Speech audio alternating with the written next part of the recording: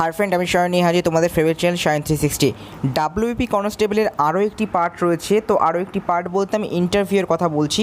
বারো আটের আরও একটি ইন্টারভিউয়ের আরও একজন ক্যান্ডিডেটের সাথে আমার কথা হয়েছে, তার যে ইন্টারভিউর এক্সপিরিয়েন্স সেটা কিন্তু আজকে তোমাদের সাথে আমি শেয়ার করব।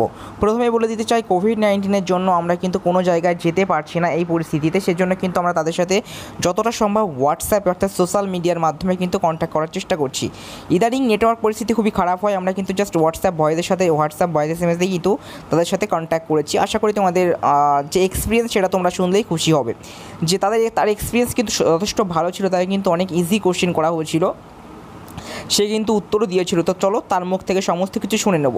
তবে তার আগে আমরা কিন্তু তোমাদেরকে বলে দিচ্ছি যে, প্রায় প্রতিদিনের ইন্টারভিউয়ের যে ক্যান্ডিডেটদের যে অভিজ্ঞতা, সেগুলো কিন্তু তোমাদের সামনে আমি তুলে ধরার পুরোপুরি চেষ্টা করছি। দেখো, অনেক ক্যান্ডিডেটের সাথে যোগাযোগ করা যাচ্ছে না, তাই কিন্তু দিনের ভিডিও মানে প্রতিদিনের ভিডিও প্রতিদিন আসছে না। বাট আমরা চেষ্টা করব প্রতিদিন যে সমস্ত ক্যান্ডিডেটদের ইন্টারভিউ থাকে, তাদেরকে যেন তোমাদের সামনে হাজির করা যায়। যেমন আজকে যিনি রয়েছেন, মুর্শিদাবাদের একজন ক্যান্ডিডেট রয়েছে, আব্দুল গাফার তো তার যে ইন্টারভিউয়ের অভিজ্ঞতা সেটা কিন্তু তো চলো আমরা তার মুখ থেকেই শুনে নেব।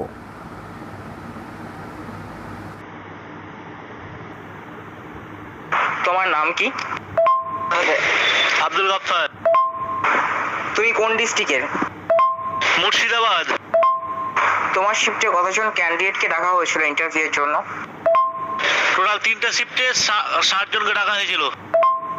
তুমি যে শিফটে দিয়েছ সেই শিফটে তাহলে কতজন ছিল? কুড়ি জন কি? হ্যাঁ কুড়ি জন ছিল। কতজন ইন্টারভিউয়ার তোমার ইন্টারভিউ হেল্ড করেছিল? পাঁচজন ভাই পাঁচজন ছিল ওরা। কোনো মেয়ে ছিল না? তোমাকে ঠিক কি কি প্রশ্ন করেছিল যদি একটু বিস্তারিত বলো। বেশি কিছু জিজ্ঞাসা করেনি প্রথমে নাম জিজ্ঞাসা করল তারপর বলল যে তোমার নামে যে একজন বিখ্যাত ব্যক্তি ছিল তার নাম বলো। তারপর বলল যে পশ্চিমবঙ্গ ভারতের কোন দিকে অবস্থিত আর সিকিমের রাজধানী কি? আর বলল যে এই যে সীমান্ত গান্ধী নামে তুমি তো পরিচিত তো এই সীমান্ত গান্ধী নামটা কে দিয়েছিল? এইসবগুলো জিজ্ঞাসা করল। তোমার ইন্টারভিউ ম্যাক্সিমাম ঠিক কত মিনিট ধরে চলেছিল? মহাত্মা গান্ধীর পুরো নামটা জিজ্ঞাসা করেছিল। দু মিনিট। ইন্টারভিউয়াররা তোমাকে ঠিক যে যে প্রশ্নগুলো জিজ্ঞেস করেছিল তুমি কি তার প্রত্যেকটা সঠিক উত্তর দিতে পেরেছিলে? হ্যাঁ একটা ভুল হয়েছিল যে সিকিমের রাজধানী যেটা ওটা আমি অন্যটা বলে দিয়েছিলাম তো ওটাই ভুল হয়েছিল বাকি সবগুলো ঠিক ছিল। এই যে এখন করোনা পরিস্থিতি চলছে এই করোনা পরিস্থিতির জন্য পুলিশ থেকে ঠিক কেমন ধরনের অ্যারেঞ্জমেন্ট করা হয়েছিল? মানে ঠিক কীভাবে তোমাদের যে ইন্টারভিউ প্রসিডিওর সেটা চলছিল?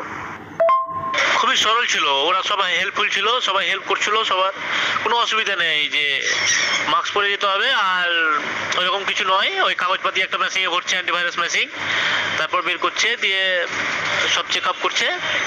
এমনি সবাই হেল্পফুল ছিল। কোনো তাড়াতাড়ি ছিল না, কোনো আস্তে আস্তে সব কিছু আমাদের দুটো সময় ছিল তো আমাদেরকে বারোটার সময় ঢুকিয়ে নিয়েছিল। বসতে বসার জায়গা আছে করেছিল। সব কিছু ভালো ছিল। ম্যানেজমেন্ট পুরো মানে খুব সুন্দর ছিল অ্যাকচুয়ালি হেল্পফুল ছিল। পুলিশ কর্মীর সংখ্যা ঠিক কতগুলো ছিল? ভাই আমার ইন্ট্রো আড্ডা হয়েছিল ওর মধ্যে হয়েছিল ওই জন্য তো পুলিশ তো থাকবেই। যেহেতু পুলিশ সুপারিনটেন্ডেন্টের অফিস ওটা তো ওখানে তো পুলিশ থাকবে অনেক পুলিশ ছিল। এই করোনা পরিস্থিতির মধ্যে যে ইন্টারভিউটা হলো তো ইন্টারভিউয়ে কি করোনা নিয়ে কোনো ধরনের কোনো প্রশ্ন তোমাকে জিজ্ঞেস করা হয়েছিল?